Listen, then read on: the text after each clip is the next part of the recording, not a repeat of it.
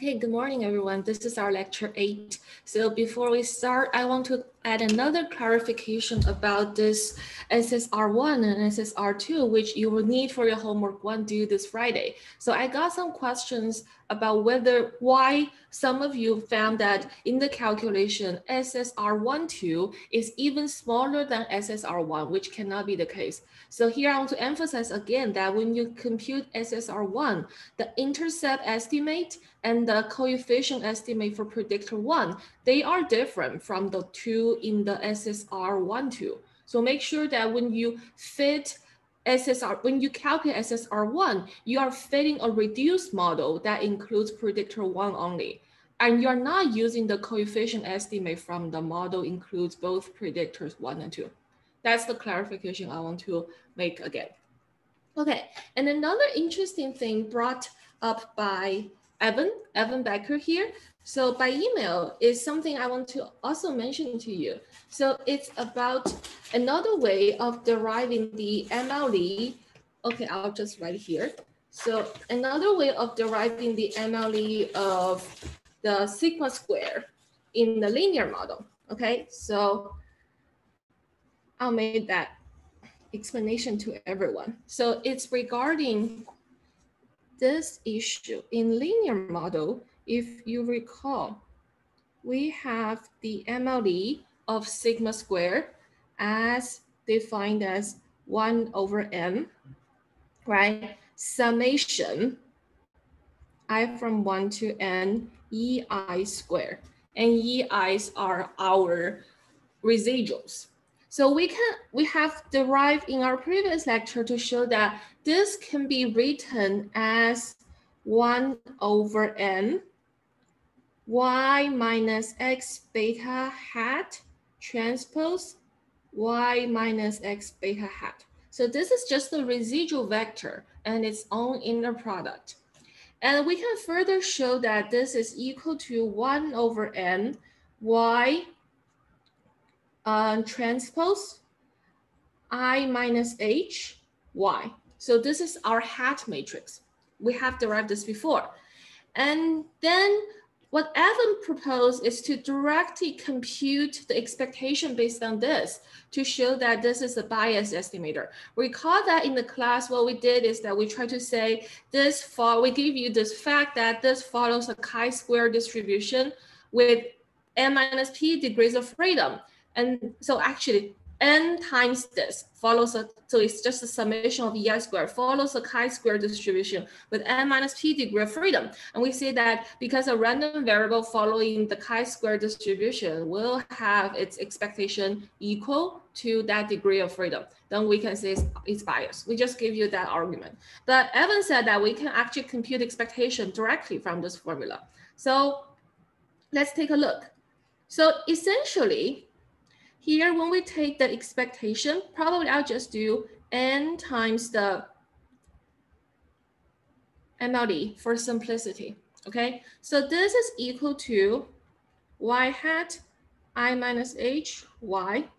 Because this is a scalar after the multiplication, this is just equal to its trace. Okay, so it's equal to the trace of expectation of the trace y hat y transpose 1 minus h y. Okay, and we know the property of trace is that we can always circulate, we can always circle the, the things in the product. So we can move y to the to the front. So then we will have expectation of trace y y transpose i minus h. Okay, and then we can separate those into two terms. So the first one, we will, so basically here, the I minus H, we know that it's actually, okay, okay, probably I should, if I should change trace and expectation. Okay, maybe I'll write it as, sorry, as the trace of the expectation of y hat i minus h y. And then here we're basically exchanging the trace and expectation. So I'm going to get y, y transpose I minus H because here the expectation is taken entry-wise. Okay. Okay. And then here the thing is that the I minus H, as we know, is not random. H is only a matrix based on our design matrix X, and that's fixed. So I can move I minus H out of the expectation. So I'm left with expectation of y y transpose times i minus h. So I'm here. So then Evan said, okay, we can use a property by expanding this just as how we expand the second moment as a sum of the variance plus the square of the first moment. So we can do that in the same way for the matrix. So we would have expectation of y, y transpose. This is like the second moment equal to the covariance matrix of y plus the expectation of y times expectation of y transpose. This is like a this is like an n by n matrix. Don't forget about that. So I'm having an n by n matrix in every term. So then for the first term, I know by the assumption of linear model, this is equal to sigma square identity matrix and dimensional. And the second one, we know that expectation of y is actually equal to, sorry, equal to x beta, okay?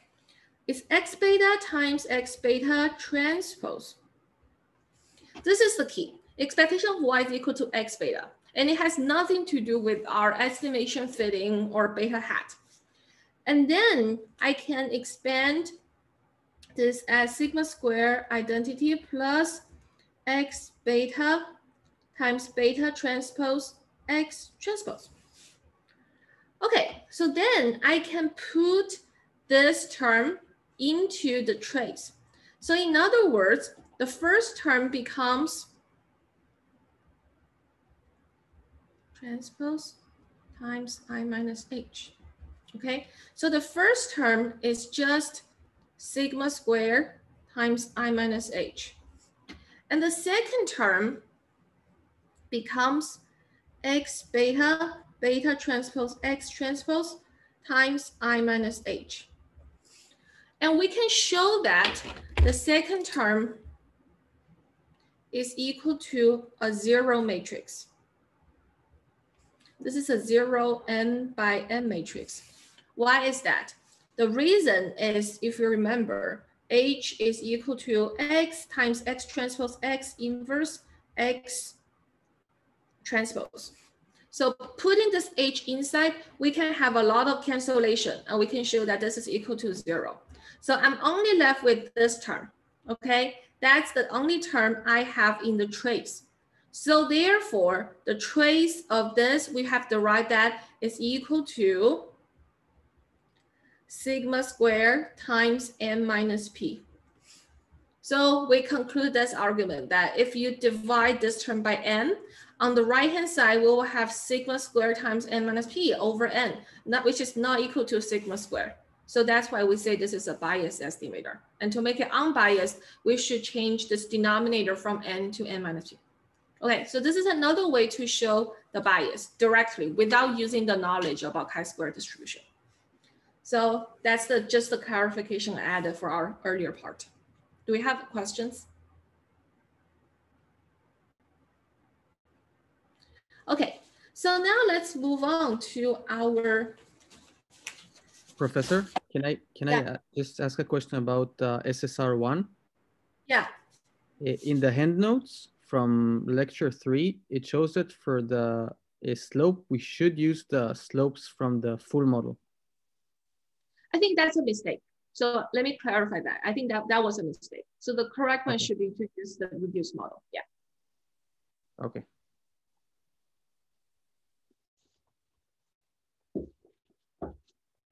Okay, so now let's move on to our logistic regression.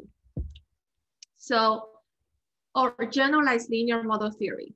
So in the last lecture, just as a quick recap, we said that in the general GLM, we have the random structure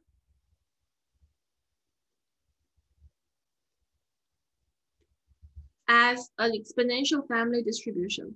Our response yi's are independently following exponential family distributions. With two parameters, we specify them as theta i and phi. So specifically, the density, the PDF has the form fyi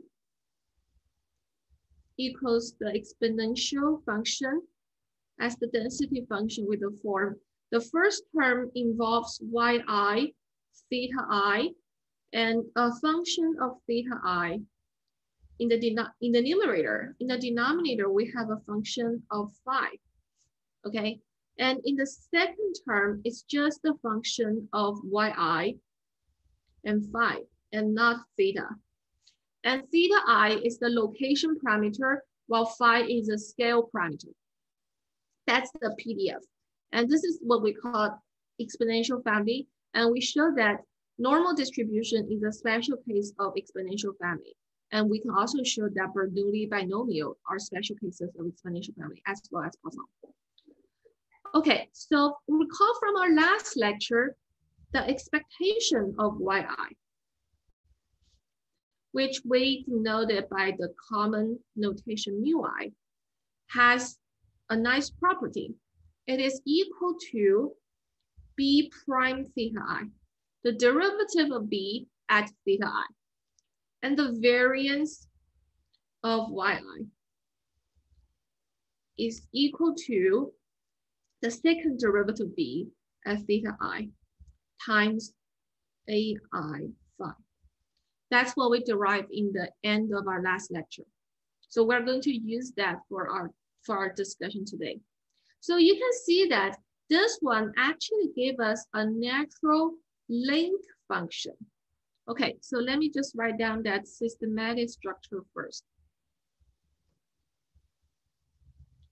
So in GLM, what we assume for the systematic structure is that there is a one-to-one -one monotone function G, invertible function G, that transforms mu i so that we can say this transform ui is a linear function of predictors. This is systematic structure. And we give this product a name, eta i, calling it the linear predictor.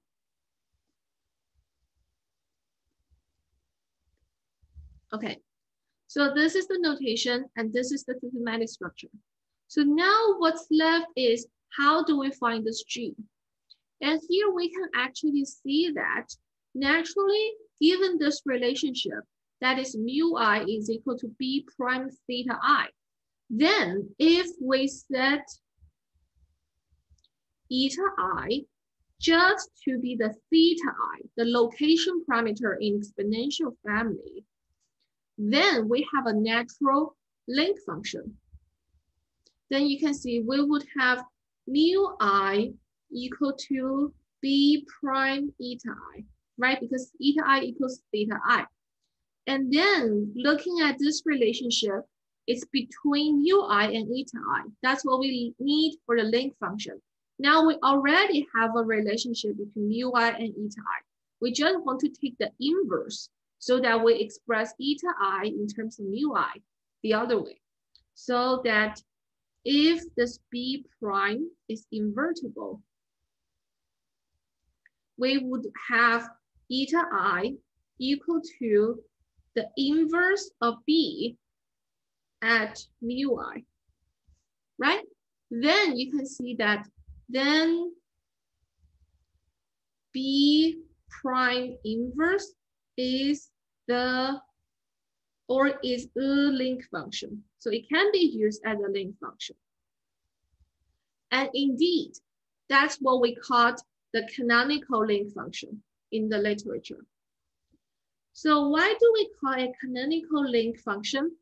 The reason is that in this density function of this form, the theta i is called a canonical parameter of the CDF, of the, of the exponential family. So theta i is called a canonical parameter. And what we do basically is to set the linear predictor we are interested in to the canonical parameter to be equal to the canonical parameter. That gives us this relationship between eta i and mu i. And that gives us this natural link function. So we call this link function the canonical link function. Okay, so if we look at our normal distribution last time, so if you look at here, okay, this is the B function in the normal distribution. So if, if you check it, B prime theta i is equal to theta i. So the B prime, the derivative is an identical function, identity function. So its inverse is field identity function. So that is consistent with what we had known before that for linear model, G is just identity function. We don't need any transformation. And for Bernoulli, we can show that the canonical link function is just the logistic function we derived before, we used before. Okay, so this is the general case. So you see that this can guide a lot of GLMs, right? We, As long as the random structures in the exponential family. And with this canonical link function, we have a very nice property about the log likelihood of beta, the parameter we are ultimately interested in estimating. We need a log likelihood so we can use the MLE as the estimator of beta. Before I go into that, I want to just revisit the question I left for you in, at the end of the last two lectures. That is about the question. Do we need an error term in GLM? The reason I ask this question because in linear model, we specify a linear term for each yi as epsilon i. We consider that to be the random error, which follows a normal distribution with common variance, sigma squared, and zero mean. So how about those generalized linear model? Do we still need an error term? Anyone who wants to volunteer? Uh, I, I think the error term is, is specified in a distribution. For example, uh, if I have a binary data, I will have a binomial uh, noise attached to it. So, yeah, that, that's right. That's correct. That's the correct answer, Kangcheng. So here, the, this term, this the, or this expression, exponential family, already gave us the randomness uncertainty in yi. So we are not, we don't need to really specify a term to mean the uncertainty, to mean the randomness. So that is different from Gaussian because in Gaussian, we can always make a random variable that follows Gaussian into two parts. One is the mean, the other is a zero mean normal random variable. That's exactly what we did for linear model. But that's not the case for every random variable, like Gauss, like Kangcheng said. So in if the random variable is Bernoulli, taking values zero or one. Then how can you separate the noise from the signal? You know the signal is the probability of being one, the pi i we have there. But then around that pi i, whether it goes down to zero or whether it goes up to one, that's not something we can really specify about random error term. So we just directly say yi follows Bernoulli pi i, and the Bernoulli specifies the randomness. And also a question, a related question is I want to ask you, whether these two things are equivalent. So one is that if I write GYI equals to XI transpose beta plus epsilon i, the other way is to write as in our GLM, G mu i equals XI transpose beta. Are these two the same thing? This is commonly mistaken this is often mistaken, mis mistaken as GLM. I just for your information. Okay, but what's the difference between those two? And are they really the same thing?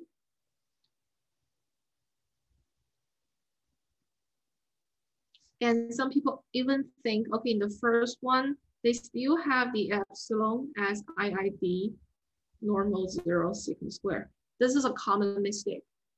So a simple way to see these two are different is by taking the expectation. So for the first one, if we take expectation, okay, expectation of GYI, we will see it's equal to Xi transpose beta. While for the second line, we actually have mu i as expectation. So essentially we have G of expectation yi equal to xi transpose beta. Okay, and we know that unless g itself is a linear function, we will not have these two equal to each other. So expectation of GYI is not equal to G of expectation of YI in general. And we know there's an interesting thing called Jensen's inequality. It's actually about when this G is a convex or concave function. What is the relative order of those two things? Okay, so it's equal if and only if G is linear. That's the only case. So that's why you see these two are actually different models. And what's the first type of models, if you recall? we give you an example for the first type of model, the Box-Cox transformation. So when we tra transform yi using the power function, that's actually an example of the box. That's just an example of this first type of model. So, but in fact, so Box-Cox belongs to this type. And it's not the GLM we talk here. Okay, that's a clarification I want to make. Now let's come back to the GLM, MLE in general. So MLE of data in GLM. As we always know that we're interested in the predictor effects, which are encoded by beta. So then let's write down the log likelihood of beta. I'm, I'm going to skip the likelihood and directly go to log likelihood here. And I'll write the lowercase l beta. So by the independence of yi, okay, this can be written as summation i from 1 to n log of density yi. So we had this by having the joint density by product f, f, fyi, and we take log then we can exchange the order of log and summation and change the product to summation and move log inside. So that's how we get here. And because we have the canonical link function, okay? In the canonical link function, so basically we can replace theta i, we can replace theta i by eta i. And then eta i is, is xi transpose beta. So we have that nice thing. So by the canonical link function, this log and also by the density form, you see the log is easy. We just get rid of exponential and take the inside. That's the log.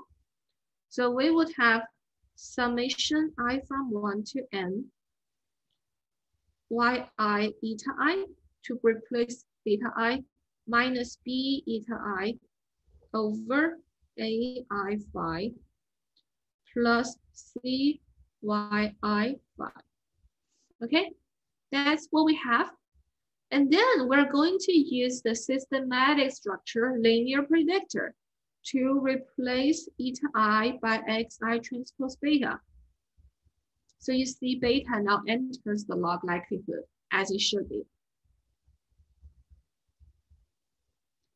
So we have yi, this is scalar, xi transpose beta minus b xi transpose beta a i phi plus c y i phi. Okay, so now what's remaining is to maximize this log likelihood. And you can see a nice thing about exponential family is that we basically can ignore this term because it's not getting into, it's not involving beta. So when we want to maximize L beta in terms of beta, and if we take derivative against beta, we will only have the first term stays and the second term will, will be gone. Okay, then the key question comes, how do we maximize this? So we will maximize this by finding p-dimensional vector beta to maximize it. That's the question. And this is actually an optimization problem. So for most cases, we cannot simply take the derivative, set it to zero, and have a closed form solution, especially in the pre-computer age. Without a, without a closed form solution will be a very difficult thing. So that will make the GLM not really applicable if we cannot easily compute it by hand or by calculator. Although nowadays we have with powerful computers, we can always solve the optimization problem use brute force, right? Even though the like this function is not convex, we still have non-convex non optimization algorithm for that. But in old days, that's a very difficult challenge. So today we're going to give you some very basic high level, or I would say very basic introduction to optimization method, which in statistics education was not really a core part before. But nowadays, if you're working on something related to deep learning methodology or more complicated model estimation, like the stochastic block model, those kind of things, you will need to have some quite good knowledge about optimization to be able to derive algorithms to estimate parameters in those models. Okay, so we will just do a review of optimization and then we'll come back to this problem. So for some of you, this might be review. For others, it might be introduction. Optimization methods. So here we just simplify the question or other problem as to find a maximizer of a p-dimensional function. So here we have a function, p-dimensional, which means its domain is Rp, and its value, it's a scalar value. So it's not a vector value function. So it maps from Rp to R. And our goal is to, so I'm going to stick with the notation beta, so that's easier for you to see the connection. Although in the notes we use X. Find beta star such that f beta star is greater or equal than f beta for all x uh, for all for all beta for all beta in RP. So in other words, we try to find a maximizer of f just as what we need for the log likelihood. So the, the basic of optimization for finding a local minimum, local maximum, sorry, I should say maximum here, so the basic for finding a local maximum algorithm is what we call the Newton-Raphson method.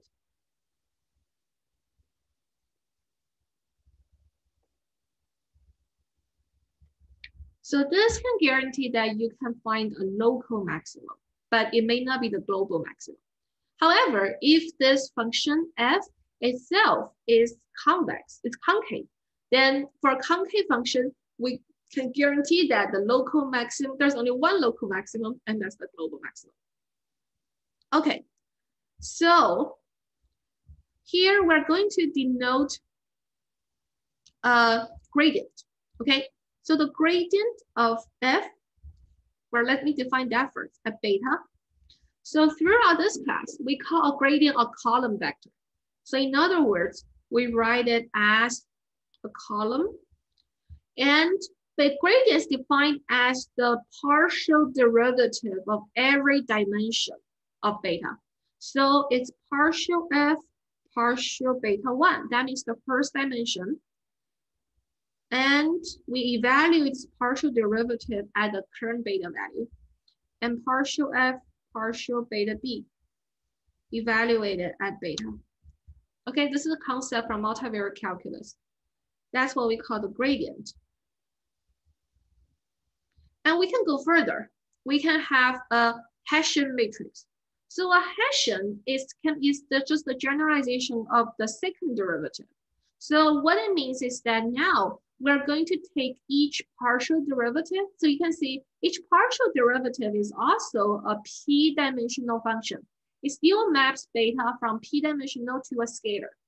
So now for Hessian, what we do is that we're going to take the gradient for each element in the gradient. So for each partial derivative, we're going to take its gradient again. So we will have this as, we'll take the partial derivative of this against beta 1, beta 2 to beta p. So what we do is that we expand that as a, as a row vector. So then the Hessian matrix, which we will call it HF, is still evaluated at beta. It will be a P by P matrix. So this is P by one vector, and we'll have a P by P matrix. So what we have is partial square F, partial beta one square at beta, two partial square F, partial beta one, partial beta P at beta. And we go down here, we have partial square F, partial beta P from here, partial beta one, beta, and Lastly, partial square f partial beta p square beta. Please also know that in some books, people may use, they call gradient by default as a row vector. So that, that's just their notation. So if you think about that way, then you will first have a row vector and for each element, you would get another gradient that becomes a column in the Hessian. But either way, you will have a Hessian matrix as a P by P matrix. And for many nice functions f, we can have the, so we can have a symmetric Hessian matrix, right? So it's, it's the same no matter whether you take derivative against beta 1 first or beta p first. Okay, so another property is that if f is strictly concave, is strictly concave everywhere in RP, then this Hessian matrix will be negative definite. So, you know, negative definite is just the general way or generalization of the negative number to matrix. We know that for one dimensional function, if the function strictly concave, we will have the second derivative of this function everywhere as negative. So here we'll say negative definite. So then what's the Newton-Raphson? It's going to use both the gradient and the Hessian. So the general idea of Newton, Newton-Raphson is to use Taylor expansion to approximate the gradient. So we know that we want to set the gradient to zero to stop for the maximizer for concave function. But the issue is that set, setting the gradient to zero is not easy to solve. So we'll have set this to zero and we'll have P equations to solve. So that may not be easy to solve. So we do not have closed form solutions. Then what do we do? So if we approximate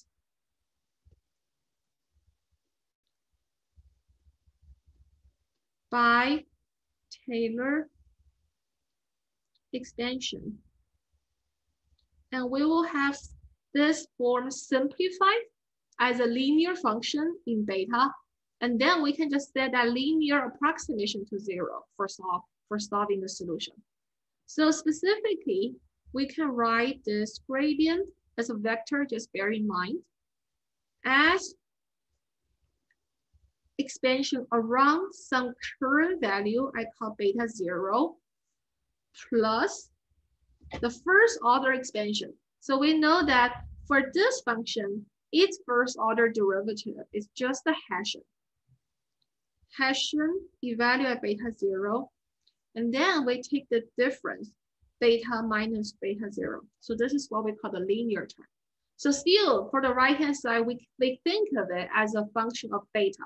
So beta is only in the linear term, and beta zero is considered to be our stationary point or the starting point, which we do not need to solve. We just need to solve for beta. So then we set this to zero. So if beta star is a local maxima, maximum, if beta star is a local maximum of f is a local maximum of the f function, okay, then we should have this gradient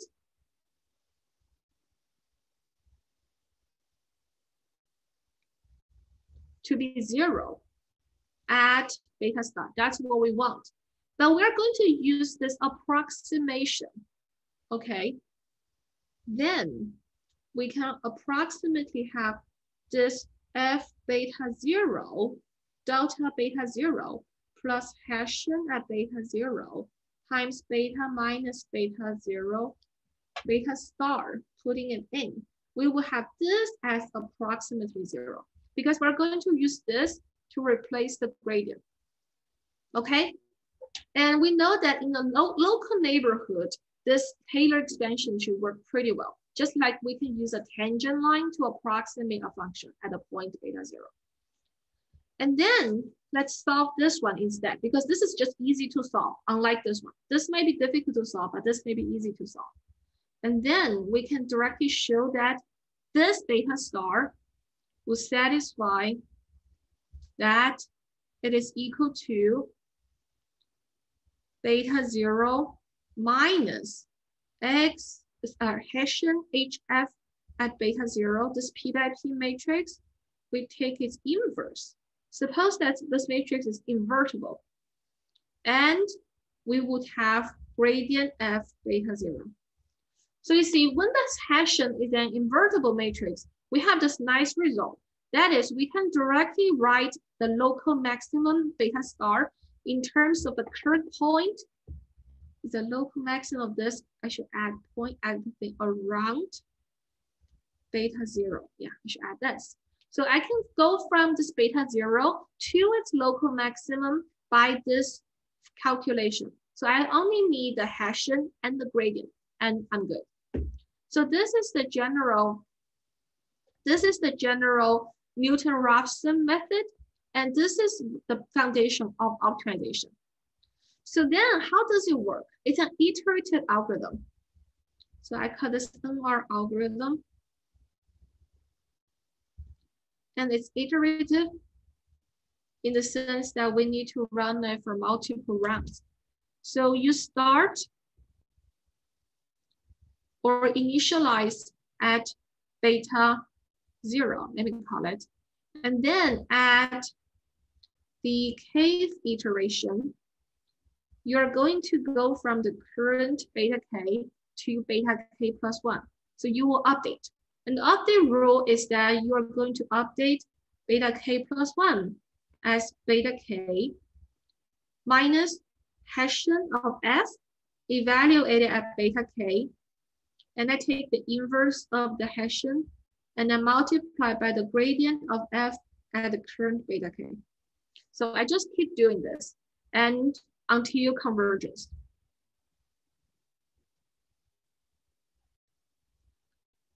So you see, this is the how we work, use the Newton-Raphson algorithm. So if we believe there's only one local maximum of this function, then we can guarantee that as we iterate, iterate, we will converge to that point as the local maximum. Okay, that's Newton-Raphson. And now in statistics, we know we have a very prominent figure, Ron Fisher, who invented so many things we use today. So Fisher has changed Newton-Raphson method to what we call the Fisher scoring method. So that's the next thing we're going to introduce to you. And it is the method that's directly used for MLE, for calculating MLE for generalized linear model. So Fisher scoring method. So this is used for GLM MLE. But later we'll see that given the special form of density function as exponential family in the GLM we talk about, the Fisher scoring can be reduced to a simple algorithm which we'll call as iterated least squares. So IRLS. That will be a special case of Fisher scoring in GLM, in the expansion family. So what's Fisher scoring? So now if you understand Newton-Raphson, then Fisher scoring is basically a modification of this updating rule by changing the Hessian matrix to the expectation of Hessian matrix when F is a log likelihood. So what it means is that, so it's just a modification of Newton-Raphson method. So that is, we will replace, so now in the log likelihood, uh, so now here we're going to, for, for maximizing log likelihood.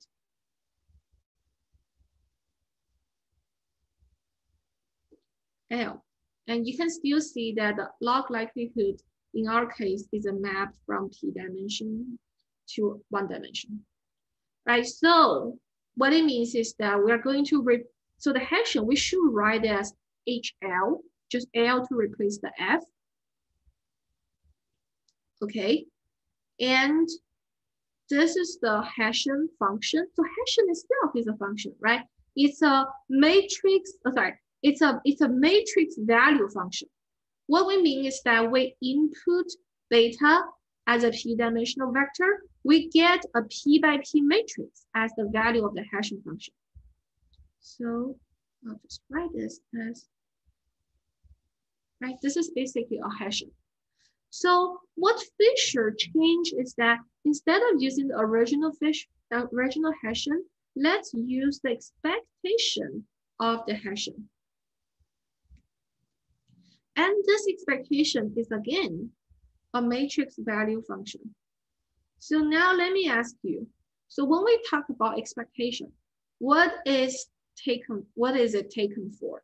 What does, what do we consider as random in the expectation?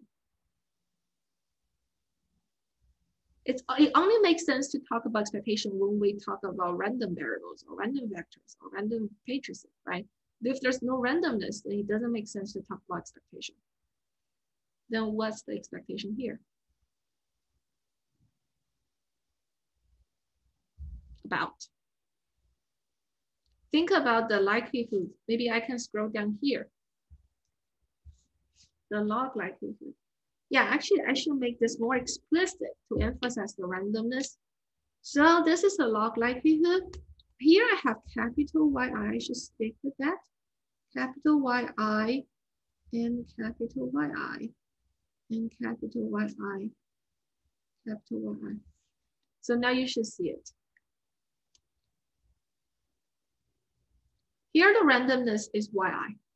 So basically we, we evaluate the likelihood function at our observed data Yi's, but we realize that our data are random, right? They're random sample. So therefore, if we change Y1 to Yn to a different set of numbers, the log likelihood function will change accordingly. That, that's where the randomness is about. So when Fisher proposed this expectation, he's basically taking the average across all the possible samples, just as we always did in frequentist. So that's the expectation. So in other words, this is no longer based on our observed data, but it's taken over the distribution of our data. Okay, so I should say that this is not a matrix based on observed data. While the left side is. This depends on the numbers in our observed data. And the reason Fisher proposed this is basically for computation is easiness. Because you can imagine, just as the Hessian depends on observed data, the gradient also depends on observed data, right? Because gradient is a derivative of likelihood. Likelihood, log likelihood depends on observed data. So if we just make this part not depending on our data, we can save a lot of computational burden. We can just use this, this derived from the distribution we assume. Like given the exponential family, we can actually have a closed form function for this expected Hessian, which was later. And then we can directly just apply that form to the current value beta k, and we're done. So we don't need to involve our data points y1 to yn into the computation here. So we can save a lot of computational time in task. And this is so important for our pre-computer age. Okay, so now in the following discussion, I'm just going to apply the Fisher scoring method to our GLM. So we'll actually we'll, we'll actually derive what is the score, what is the gradient for log likelihood, what is the Hessian of log likelihood. Okay, so maybe I should say here first. So just to so the update rule for Fisher scoring. So we're going to do beta k plus one equals beta k minus the expectation of Hessian at L, Hessian of log likelihood at beta k.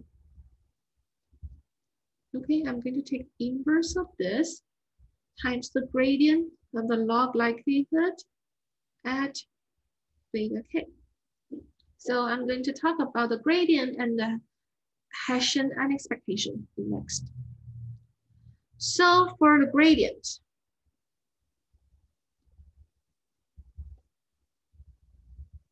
of log likelihood, we actually give it a special name in statistics. We call it a score function. So if it's not e easy for you to remember, just think of as a gradient. I think that will be easier.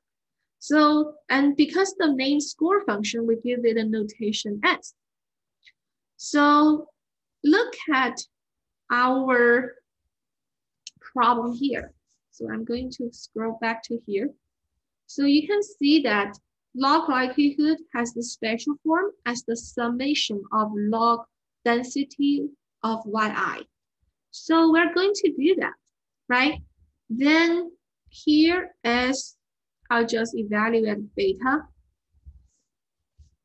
is the gradient of log likelihood at beta. And if we write it out, it's the gradient of the summation i from 1 to m. The density of yi, I'm going to make mark beta here. So you know that density involves beta as our key parameter. And log, sorry, I forgot log, log here. So of course, I can exchange this gradient with the finite sum, right? Move this gradient inside the summation.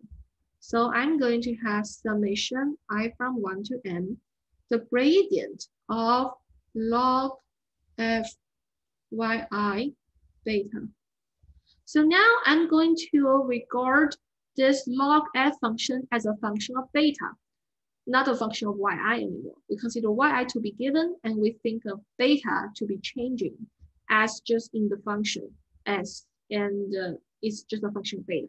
Okay, so think of this as a function of beta. Then log f is a p-dimensional function. It maps beta to a scalar. And if we take the gradient of this by the chain rule, we would have f y i beta. That's by taking the derivative of log. And then we move to the inside of log. So that will give me gradient of f at beta. Okay, so it's still considered a function of beta. And now you see this numerator is a vector, p-dimensional column vector, while the denominator is a scalar. So we stick with the vector and the vector. And here, this one is a vector. So we should keep this in mind always. And then that's our score function. So clearly you see the score function is a map from RP to RP. So its input is a p-dimensional vector and its output is still a p-dimensional vector. So one nice property we should mention about the score function is that given we understand the Hessian is random, we know the score function is also random, right? Its randomness comes from y1 to yn. A nice property about the score function is that its expectation is always zero. So if we take the, for any beta, we will get a zero p-dimensional vector. And this is for all beta in RP. So for any beta you put inside, you take expectation for y1 to yn, you would get zero out. Okay, so we can easily show that by the definition of expectation.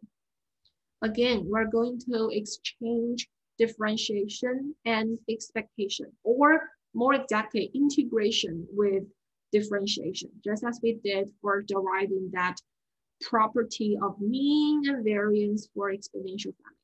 Here, we are also assuming the log likelihood or the density, yeah, the density to be very smooth. And this is guaranteed by the definition of, of the density for exponential family. So given that definition here, we know this is a super smooth function for yi. So, and also for theta i, also our beta, once we use the canonical link function, right? So here, it becomes beta.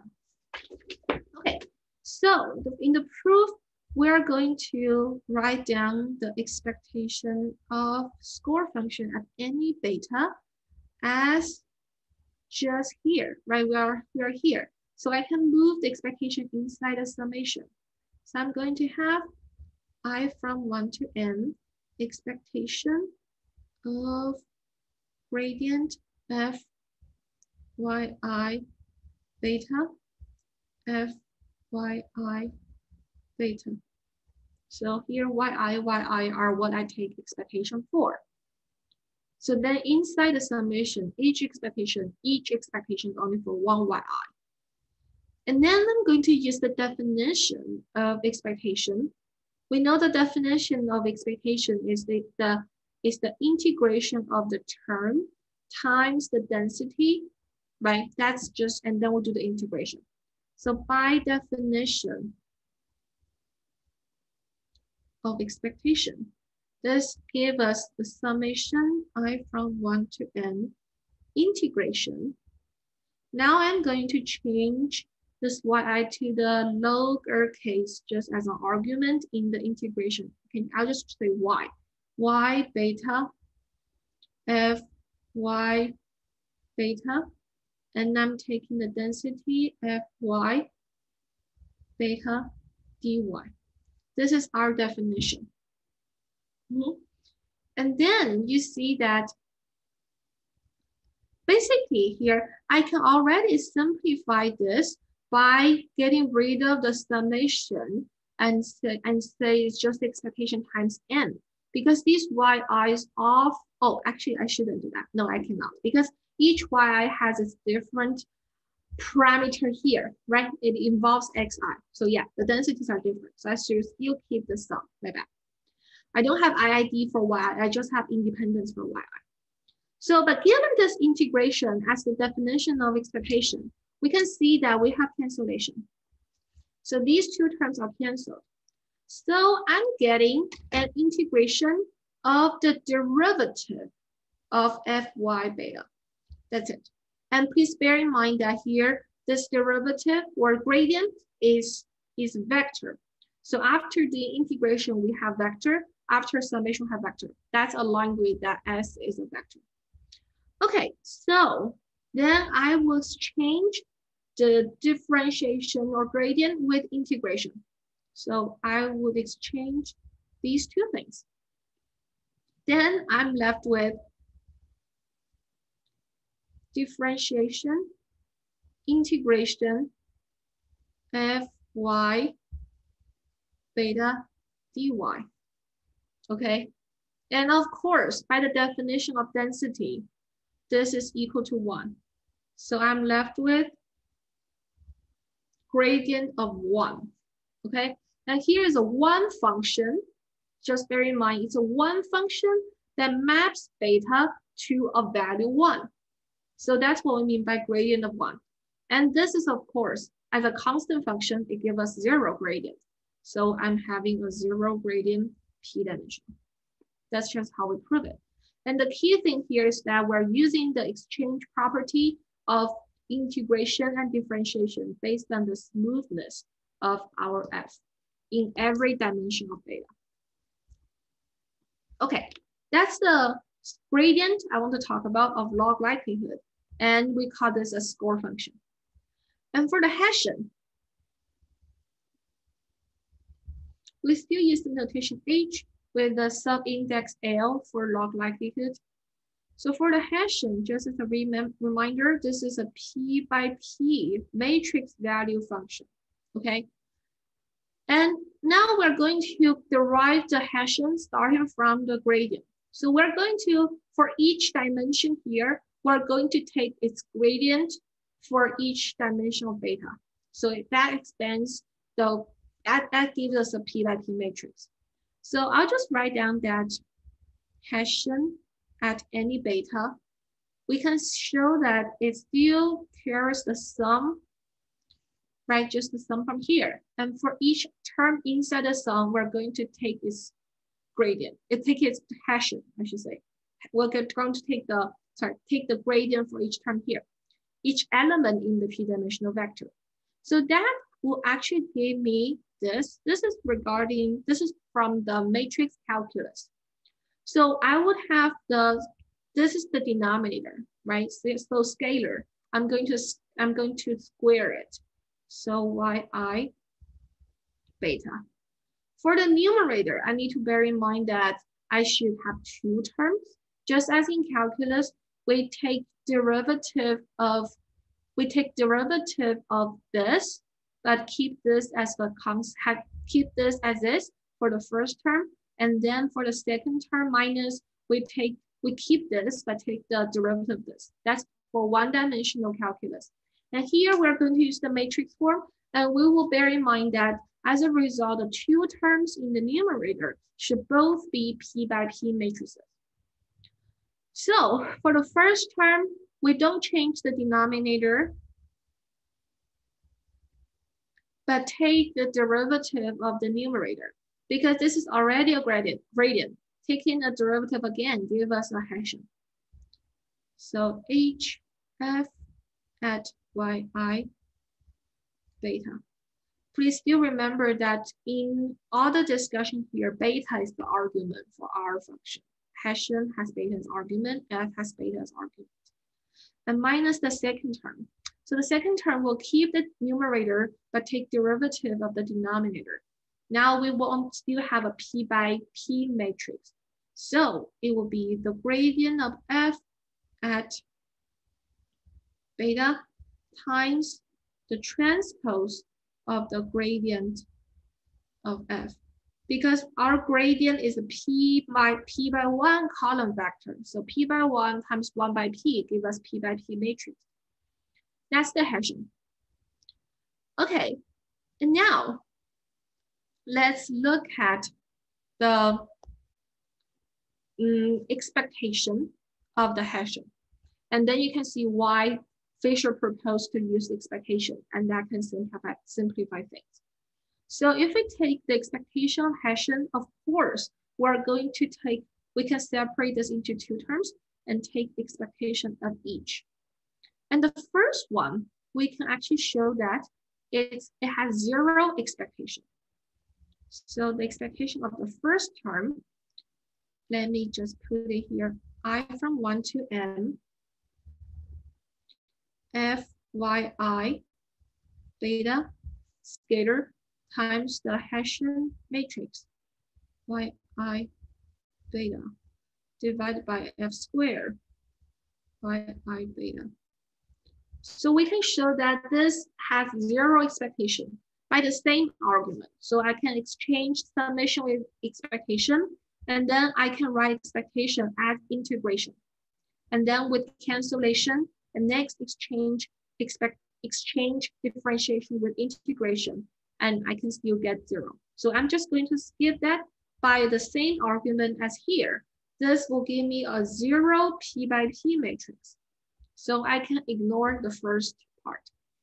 Then the Hessian expectation is just equal to expectation of the second part, right? So we, I'll just write the Hessian will be equal to, I'll move out the negative sign. And I will exchange expectation with the summation. I from one to n. Expectation of f squared yi beta. We have the gradient of f times the transpose of the gradient.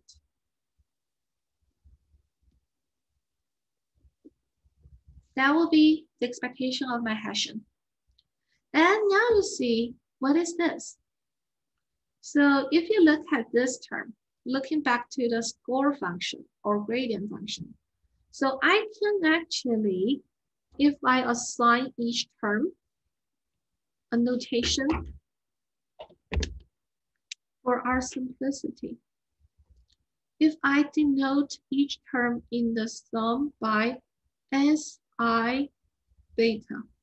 So you see that here the i comes from yi, and beta is the argument we're interested in. Like I said, we regard this term, the ratio, as a vector value function of beta. So I just call this vector value function. I define it as this gradient f of yi beta over f yi beta. I call that si beta. So this is a vector, just bear in mind. P by one vector. Then let's come back here. You can clearly see this is just Si beta times Si beta transpose. So I can write this as negative summation i from 1 to m. Inside expectation, I have Si beta times Si beta transpose. Okay, so I'm just simplifying my notation here. And then I'm going to use an important property about Si beta just as what I've shown here. So I, I basically see what I'm showing is that for the expectation of each SI beta, I get a zero p-dimensional vector. So their sum is a p-dimensional vector. So therefore, it's not just the score function has expectation zero, but each SI is also having expectation zero. So this is a zero vector as well. So with this, then we see I'm having expectation of, it's just like, as it's just like a quadratic term, right? Si times Si transpose, this is the P by P matrix. And if you remember the beginning, when I introduced how we derive that expectation of the MLE for sigma squared, we use this. So this can be written as, We're going to use that again, the covariance of SI beta plus expectation of SI beta times the expectation expectation of SI beta transpose. That's the property we already see, have seen. So now given expectation being zero, this term can be ignored. So I'm having, so this is equal to zero. And this is actually a zero P by P matrix. So let's keep the dimension clear.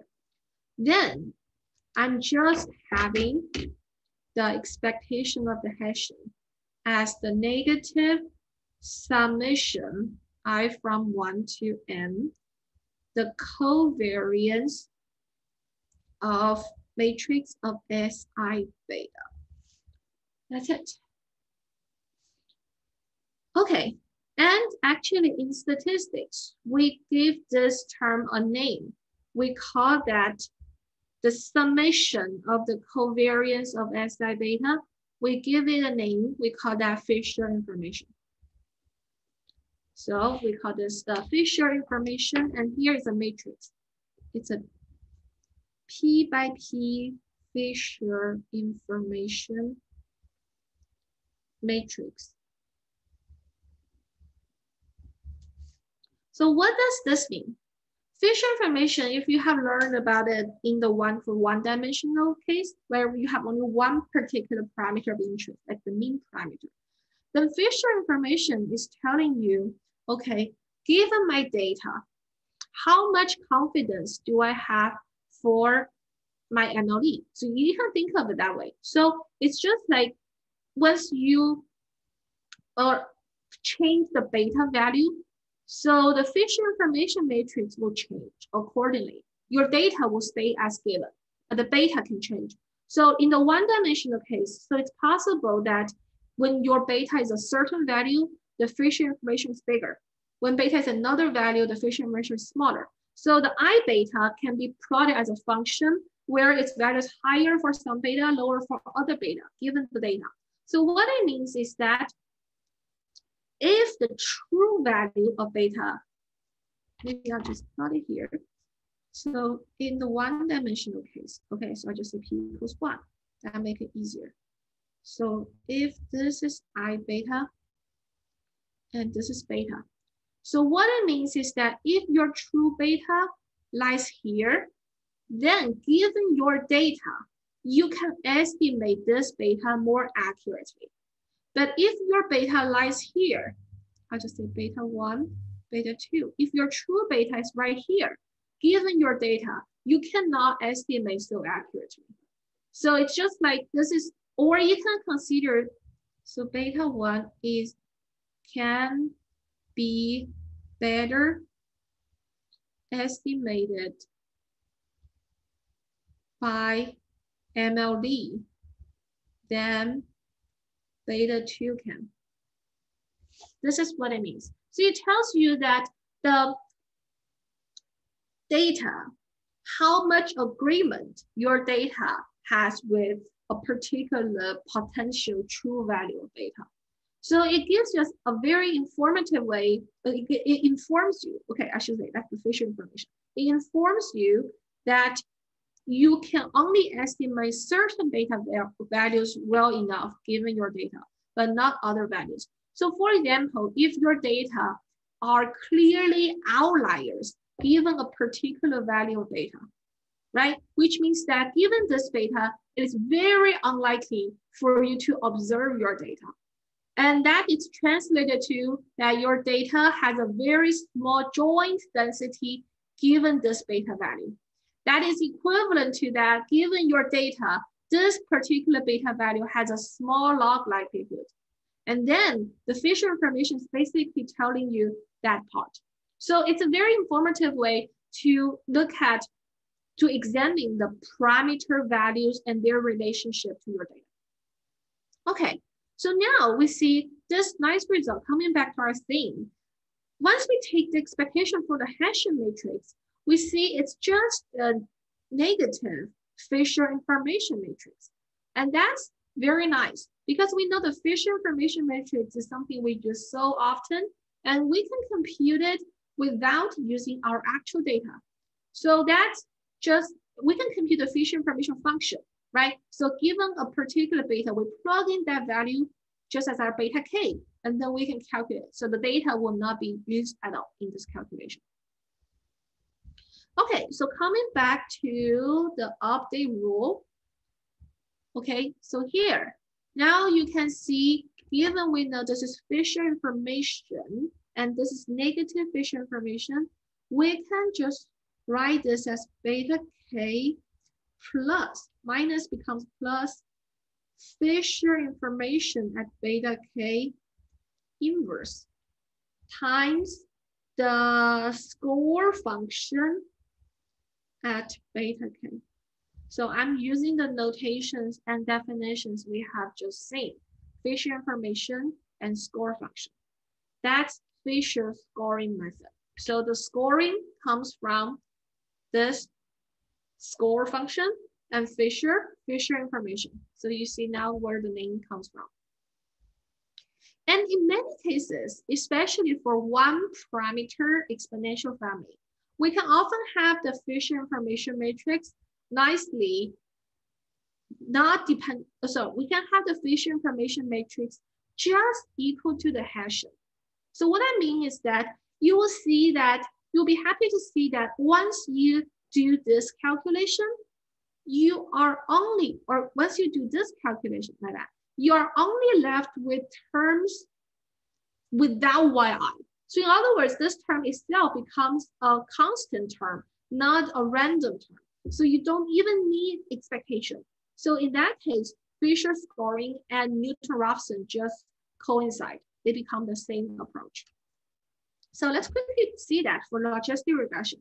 So then you see that's the case where you don't even need to take expectation. So let's quickly do that before the end of today's class. In logistic regression, and we can also see that this is a canonical function canonical link function. If you recall, we have derived in our previous lecture that the log likelihood of beta is equal to yi times xi transpose beta minus log 1 plus exponential xi transpose beta. We talked about this in the last lecture. Okay, so given this log likelihood, let's derive the score function. S beta is the gradient of the log likelihood, and we take gradient against beta. So, and we'll have a column vector as a result. So keep in mind, we need a column vector. So yi stays xi, we write it as a column vector. We drop the we drop the inner product or drop the transpose, sorry. And then for the last part, we are going to get, so chain rule again, first log, xi transpose beta. And then inside the log, so we know exponential will stay, but we'll get xi out. So exponential xi transpose beta times xi. So it's still a vector because xi is a p-dimensional vector, xi is a p-dimensional vector. And that's the score function. And then Hessian. We take the second derivative. So here we're going to take the gradient for each term here against beta. So you see, first term is gone because it doesn't involve beta anymore we only need to worry about the second term. And I can move the negative sign out first.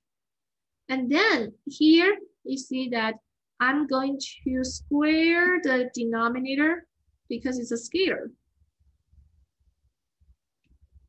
Okay, and for the numerator, the first thing is that I'm going to take this one as unchanged and then I count to take the gradient for the second one, for the denominator. So then that will give me, I just write down the result, exponential xi transpose beta times xi, that's from the new here, from the numerator here. And gradient of the denominator will give me xi. I think I will have xi transpose. Yep. So I have I'm having a p by I'm having a p by p matrix times exponential xi transpose beta. So I should have it again. Okay, and finally, oh sorry. So, oh yeah, I think that's right. Let me see. Yeah, I should I should keep it. Sorry times exponential xi transpose beta. That's my first term. Well, for the second term, I'm going to take the differentiation against this one again. So I'm going to have exponential i beta xi, and I'm going to have xi transpose also, and this will stay. Okay, and finally, so I'll keep this 1 plus exponential xi transpose beta. Okay, but you see that no matter when, no matter what this form is, then you can be sure that yi is already done. So in this case, the Hessian, once we take its expectation,